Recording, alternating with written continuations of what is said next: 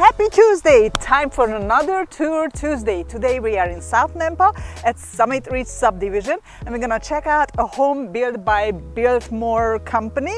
It's a 2880 square foot, four bedroom, two and a half bathroom home in the Summit Ridge Estate where you find larger homes on estate size lots. But before we go into the subdivision and check out that house, my name is Judit Crace, broker owner of Top Idaho Real Estate. And whether you are moving in nine days or 90 days, I would love to chat with you. So just give us a call, send us an email, shoot us a text, and I would love to help you find your next home.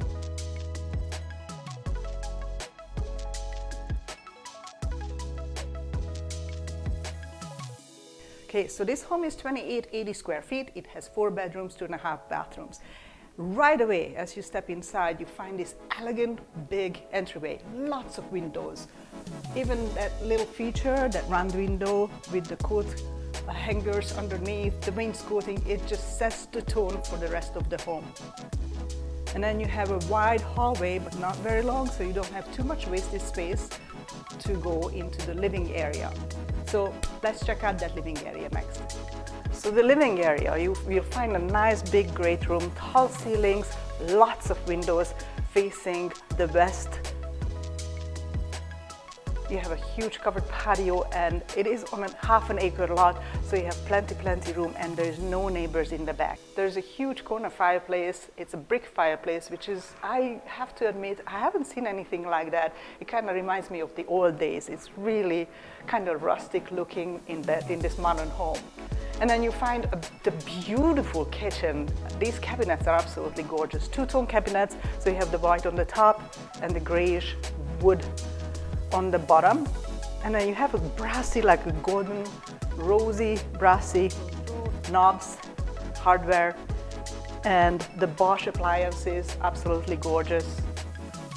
The farm sink, quartz counters, and very, very nice backsplash, kind of subway tile. You have the double oven and of course a walk-in pantry and that's where you will find your microwave as well. You have a nice big dining room. Again, there's lots of lots of natural light coming in through those windows and the nice shiplap, this old style light fixture and the corner fireplace just kind of nicely ties the old and the modern together. And the best part, of course, is the master suite. I'm just dying to show it to you. That bathroom, mm, so the main level master is a very decent size. Again, here too, you find lots of windows letting in the natural light. This is a queen size bed, but a king would fit just perfectly as well with the nightstands. You have plenty of room. And then of course you have this gorgeous master bath. It is really a place to just relax and rejuvenate. You have the double vanity the nice quartz counters, the nice soaker tub, and the walk-in shower.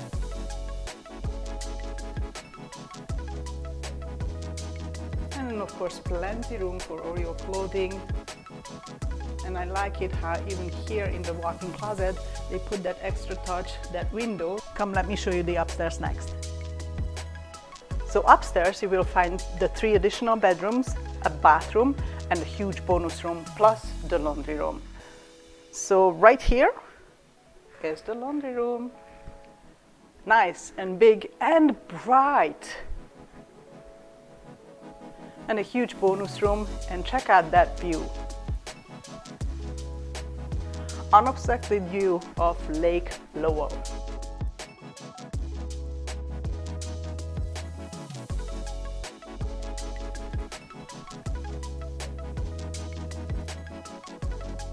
And this is the last bedroom you haven't seen in this home yet. This is absolutely huge. So out of the three upstairs bedrooms, uh, this one is quite funky, I have to admit.